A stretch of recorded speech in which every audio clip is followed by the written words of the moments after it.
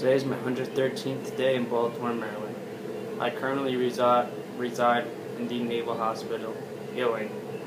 I was an infantryman with the 10th Mountain Division, and while doing my job in Afghanistan, I stepped on an IED that had, life-altering injuries. As a result, I, both my legs suffered from an amputation. I had a fracture in my right arm, my jaw, and my skull, and I suffered from multiple infections and bacteria. The first hundred days I spent recovering, and the next 13th I have spent rebuilding. I couldn't have taken one step in this process without the help of my beloved mother Siobhan and my beautiful fiancee Christina. They have honestly carried me along through this whole journey, and without them I would have been nowhere. Now I begin the recovery phase, and I invite you all to take each slow step with me as I rebuild.